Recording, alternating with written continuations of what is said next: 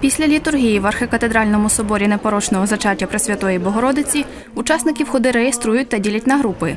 Марія Топорніцька з села Ренів Зборівського району розповіла, чому вирішила долучитися до прощі. З метою, звичайно, за здоров'я своїх дітей, близьких та рідних і за добру долю України, щоб нарешті закінчилася війна і був мир, спокій, злагода в нашій країні. Андрій Каплун тернополянин. На прощу йде сам.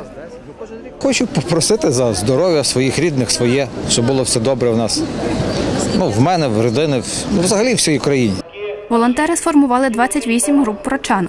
У кожній близько 30 людей. Віталій Бойко допомагає учасникам прощі вже в десяте. Ми йдемо колоною і допомагаємо утримувати порядок, щоб не розходитися, трошки може прискорювати темп, применшувати. Ну, якісь оголошення маємо. Ну, Між собою контактуємося через рації, які дає нам поліція. Виходимо з Тернополя, е, потім маємо Микулинці, Мишковичі, е, ночівля в Струсові.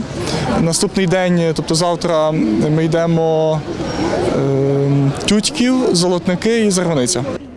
Єпископ Тернопільсько-Зборівської архієпархії Української греко-католицької церкви Теодор Мартинюк розповів, яка мета цьогорічної прощі. Цього року є 30-та річниця виходу Української греко-католицької церкви з підпілля.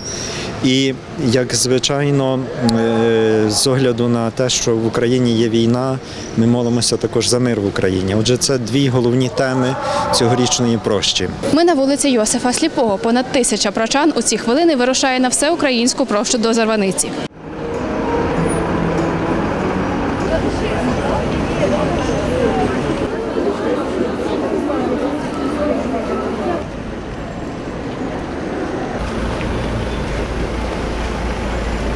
Ми у Микулинцях біля храму Пресвятої Трійці. Тут прочани зупинилися на відпочинок. Вони пройшли вже близько 22 кілометрів.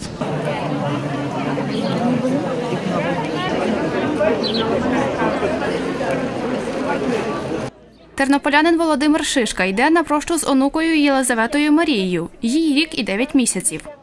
Вона в нас така, бачите, коляску сама пхає, і, їде в колясці, і трохи несемо, їдемо. Ми ще машину маємо. Це дуже добре. Потім набагато себе краще почуваєш. І взагалі до Зарваниці треба почастіше ходити. Марія Гуменюк з Тернополя розповіла, про що молиться в дорозі. Я йду дякувати Господу за те, що мені Господь посилає за все. Прошлого року мене чоловік дуже захворів. І такий, що сказали, діагноз страшний, але дякувати Господу, дякувати Господу, Господі, бо я здоровив його, і я пообіцяла, що я далі буду ходити. Хоча сама не дуже годна, але дякую Богу.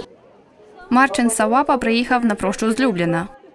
Chciałem zobaczyć Ukrainę, ale także być na Хотів побачити Україну, але також здійснити паломництво. Зазвичай здійснюю паломництво до Ченстохови в Польщі, але цього разу не зміг там бути, оскільки я тут на такій оазі дітей і молоді. Тож я приїхав, щоб молитися до Матері Божої в Зарваниці. Здійснюю паломництво з колегами з семінарії з Польщі і України. Прошу ласки Божої для моїх близьких і для мене.